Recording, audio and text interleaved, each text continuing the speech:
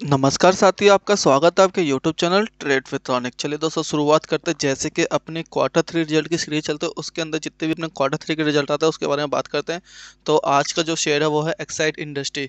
Exide industry limited के बारे में बात करने से पहले अगर अभी तक आपने अपना चैनल सब्सक्राइब नहीं किया तो पहले चैनल को सब्सक्राइब कर लीजिए, बेल आइकन को बजाना बिल्कुल ना भूलिए। तो दोस्तों देखिए जैसे कि क्वार्टर थ्री के रिज़ल्ट की सीरीज़ चल रही इस टाइम पे तो देखिए मैंने एक्साइड इंडस्ट्री को अपना पिक ऑफ़ द ईयर भी लिया था और बीच में मैंने जब इसमें करेक्शन के बाद शेयर फिर से शेयर का अब ट्रेंडिंग आए थे। जब भी आपने कॉल दिया था, जब भी अपने टारगेट हिट हुए थे।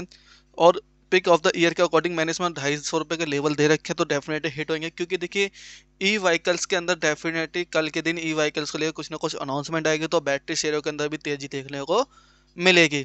तो बेसिकली कंपनी एक्साइड के बारे में ज़्यादा आपको एक्सप्लेन करने की ज़रूरत तो है नहीं कि कंपनी करती क्या है कंपनी किस सेगमेंट के अंदर है।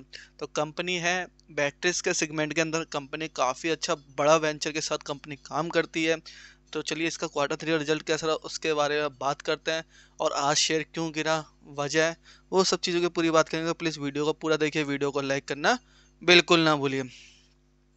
तो देखिए, मैंने इसका बी एस सी से लेटर ओपन कर लिया। तो आज के दिन इसका क्वार्टर थ्री का रिज़ल्ट आया था इकतीस जनवरी 2022 को।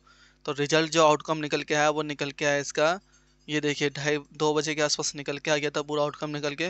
मगर पूरा अभी पूरी पीडीएफ हमें अभी शाम को पाँच बजे के आसपास रिसीव हुई है। तो देखिए एक्साइड इंडस्ट्री के अंदर जो इसका, देखिए मेनली हाईलाइट है सबसे अंदर, इसके अंदर कि एक रुपये की फेस वैल्यू पे कंपनी ने दो रुपये का डिविडेंड दिया है।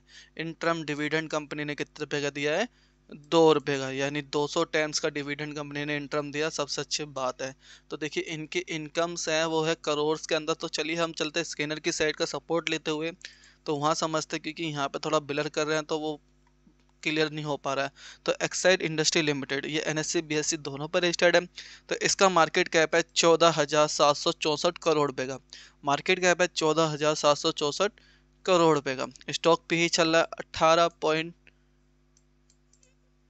थ्री का। स्टॉक आर सी इसका चल रहा है पंद्रह पॉइंट फोर परसेंट का और कर, आ, बुक वैल्यू इसकी है पिचासी रुपये की। रिटर्न ऑफ़ इक्विटी इसका है ग्यारह पॉइंट फाइव परसेंट का।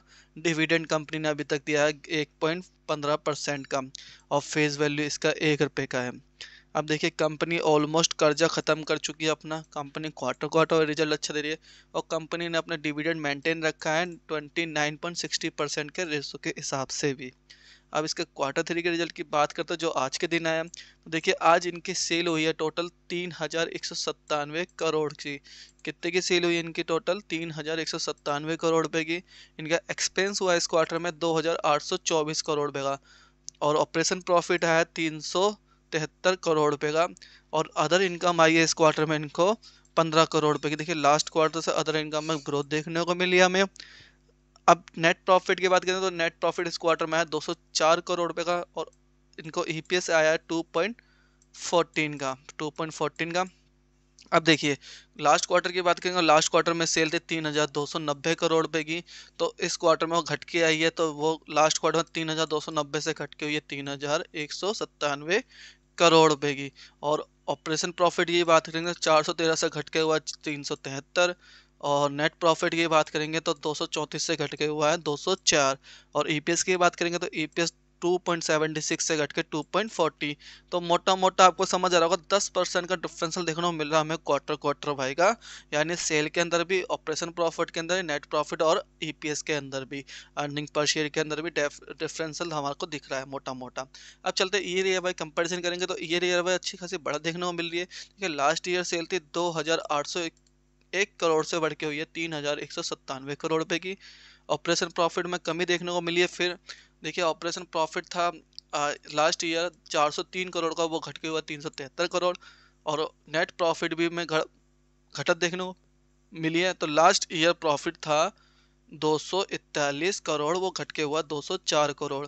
और ईपीएस में भी घटत देखने को मिली थी लास्ट को लास्ट ईयर ईपीएस था दो पॉइंट चौरासी, वो घट के हुआ दो पॉइंट चालीस। तो देखेंगे आप, बस सेल में ही इजाफा देखने को मिला है। मॉरल द स्टोरी है कि इसका जो क्वार्टर थ्री के रिज़ल्ट के अंदर की क्वार्टर क्वार्टर वाइज तो सेल और ईपीएस अर्निंग पर शेयर सब चीज़ों में गिरावट देखने को मिली। दस परसेंट का डिफरेंस मिला बट वहीं सेम डिफरेंशियल पाँच परसेंट का डिफरेंशियल यानी सेल में बड़ा देखने को मिला बाकी एपीएस अर्निंग पर शेयर और आपका ऑपरेशन प्रॉफिट इन सब चीज़ों में पाँच से पाँच परसेंट का डिफरेंसल देखने को मिला हमें। ईयर ईयर वाई और क्वार्टर क्वार्टर वाई हमें दस परसेंट का डिफरेंसल देखने को मिल रहा है हमें।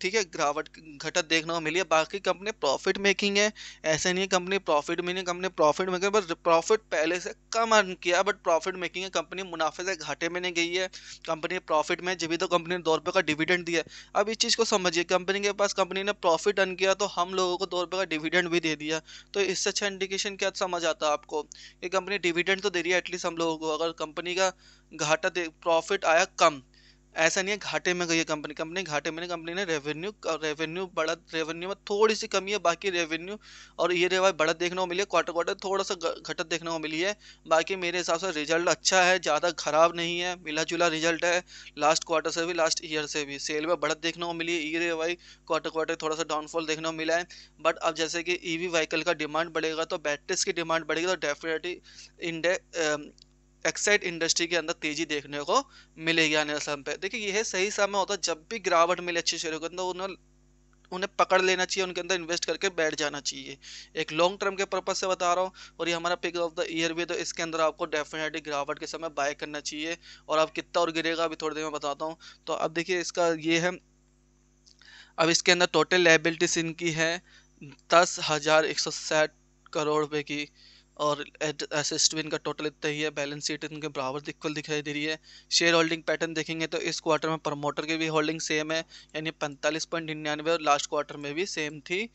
और इस क्वार्टर में एफआईएस ने अपनी होल्डिंग घटाई है, क्योंकि लास्ट क्वार्टर में एफ़ की holding nine point forty seven nine point seventy four थी, वो घट के हुई है नाइन पॉइंट सिक्सटी थ्री और डी ने भी अपनी होल्डिंग घटाई है, इक्कीस point twenty one point sixty nine से घट के हुई है ट्वेंटी पॉइंट सिक्सटी वन तो एफ़ और डी ने अपनी होल्डिंग हटाई है, ये भी इंडिकेशन है, हमें गिरावट की तरफ़ इंडिकेट कर रहा है, और पब्लिक की होल्डिंग है twenty three point seventy seven तो ये थोड़ा सा बस हुआ है, बाकी प्रमोटर को अपनी कंपनी में विश्वास है, इसलिए प्रमोटर अपनी होल्डिंग मेंटेन रखी है। देखिए रिज़ल्ट का ओवरव्यू देख लिया हमने फाइनेंशियली थोड़ा सा ओवरव्यू देख लिया। देखिए, पूरा रिज़ल्ट का, ये पूरा एनालाइज नहीं है रिज़ल्ट का। मैं अभी भी आपको डिस्क्लेमर दे रहा हूँ, ये ओवरव्यू है।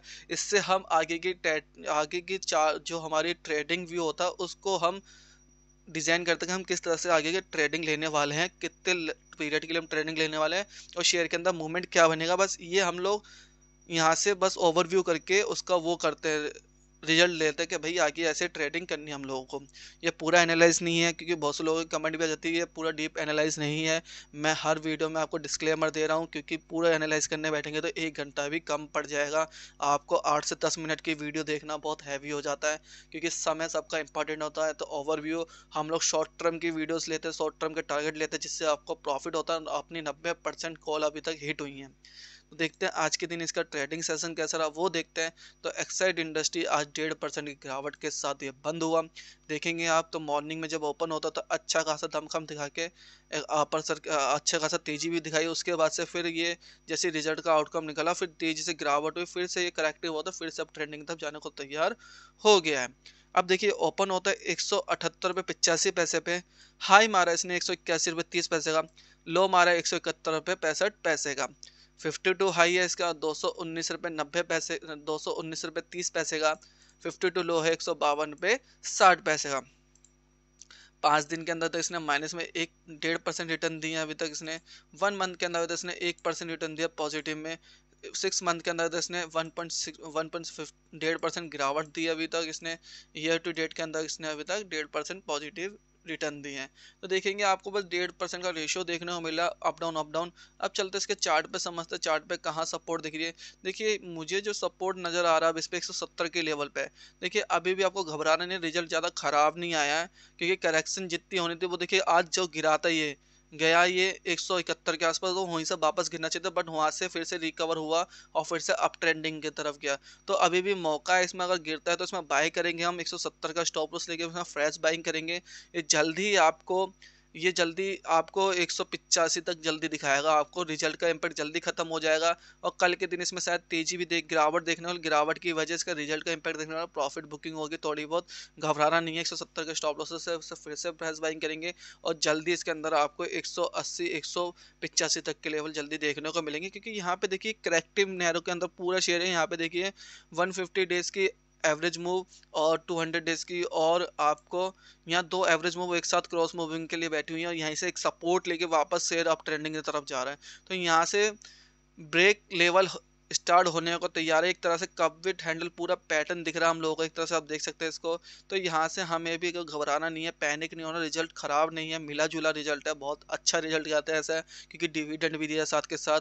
तो सेल में इजाफा देखने में ईयर ईयर वाइज देखने को मिला है। तो आपको क्या करना है, अभी अगर आप फ्रेश बाइंग करनी है तो हम 170 का स्टॉपस रखेंगे और जल्दी ही आपको एक के लेवल दिखाएगा, जैसे इसमें करेक्शन हो जाएगी। तो करेक्शन के बाद ये जल्दी एक तक के लेवल दिखाएगा अगर आपके पास तो होल्ड रखिए और पैसे बने रहिए, जल्दी एक सौ पचासी तक के लेवल फिर से दिखाएगा ये। तो आई होप ये वीडियो आपकी यूजफुल है तो प्लीज़ वीडियो को लाइक शेयर फॉरवर्ड करना बिल्कुल ना भूलें। Thank you so much for watching this video